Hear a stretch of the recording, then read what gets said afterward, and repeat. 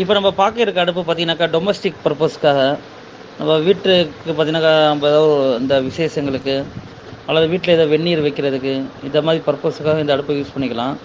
இந்த அடுப்பை நம்ம தனியாக வந்து வீடியோ போட்டிருந்தோம். இந்த அடுப்பை எப்படி யூஸ் பண்ணுறது அப்படின்னு சொல்லி கேட்டிருந்தாங்க.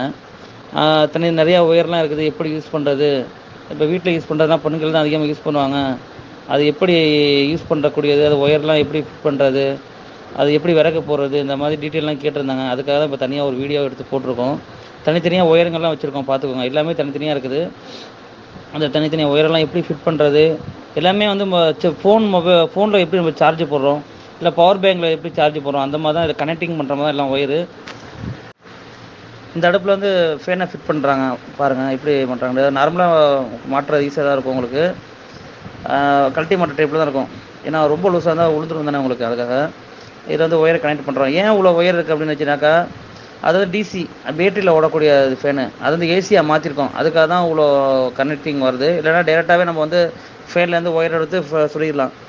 அது வந்து டிசி ஃபேனு அது ஏசியாக மாற்றி தான் நம்ம டேரெக்டாக கரண்டை போட்டு ஓட்டிகிட்டு இருக்கோம் அது. அதுக்காக தான் இவ்வளோ கனெக்ஷன் உங்களுக்கு வருது. கனெக்ஷன் கொடுத்தாச்சு. இப்போ அடுப்பு அந்த ஃப்ரேம் அந்த பாக்ஸில் இருந்து அந்த ஃப்ரேமை தூக்கி வச்சுக்கோங்க. பாத்திரம் வைக்கிறதுக்காக. விறகு பார்க்குறீங்க விறகுன்னு எடுத்து வச்சுருக்கோம்.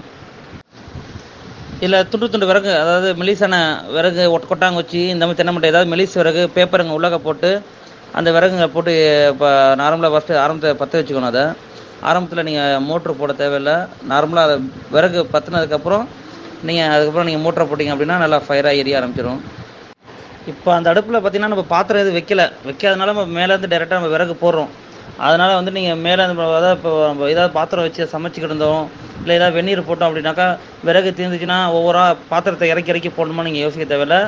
அந்த கேப்லேயே போட ஸ்டாண்டு கீழே கேப் தெரியுது பாருங்க. அந்த கேப்லேயே நீங்கள் விறகு போட்டுக்கலாம். எரிஞ்சிட்டு போய் விறகு போடலாம்.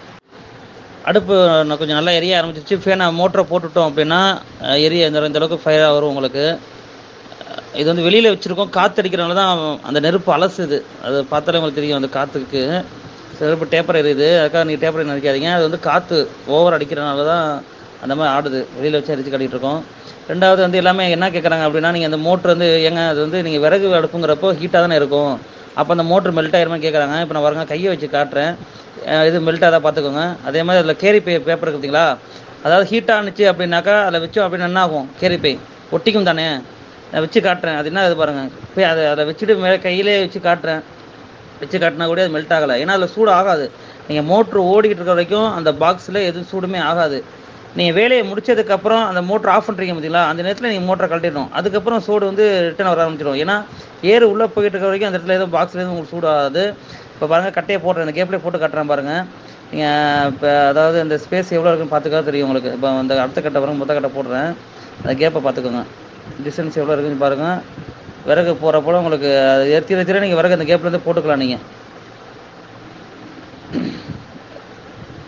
நல்லா எரிஞ்சிக்கிட்டு இருக்கு. இப்போ ரெண்டாவது இப்போ நீங்கள் சுடுதண்ணி நீங்கள் ஏதாவது விற்கிறீங்க வீட்டுக்கு அப்படின்னாக்கா நீங்கள் ஆயிரம் வாட்ஸு ஆயிரத்தி இரநூறு வாட்ஸ் நீங்கள் வந்து அந்த ஹீட்ரு போடணும். ஆயிரத்தி ஐநூறு வாட்ஸ் வரைக்கும் இருக்குது. அதனால் உங்களுக்கு கரண்ட் பில் அதிகமாக இருக்கும்.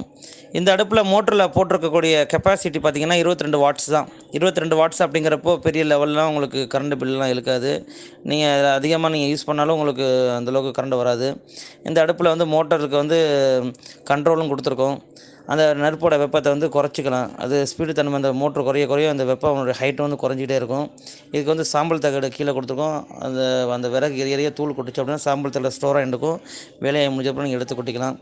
இந்த கடைங்களில் சின்ன சின்ன கடைங்களுக்கெல்லாம் வந்து இந்த இட்லி சுடுறது இந்த வடை போடுறதுக்கு இந்த மாதிரிலாம் கேஸ் அடுப்பு யூஸ் பண்ணுறாங்க அவங்களும் இந்த அடுப்பை யூஸ் பண்ணிக்கலாம். இது கரண்ட் இல்லைனா கூட பிரச்சனை இல்லை. அவங்க வந்து ஒரு லைட்டுக்காக தனியாக ஒரு பேட்டரி வச்சுருப்பாங்க. அந்த பேட்டரிக்கே இந்த சப்போர்ட் பண்ணும் அந்த மோட்ரு ஏன்னா 22 ரெண்டு வாட்ஸுங்கிறனால இல்லை உங்களுக்கு வேறு மாதிரி கஸ்டமைஸ் பண்ணி வேணும் அப்படின்னாலும் உங்களுக்கு ரெடி பண்ணி கொடுக்குறோம்.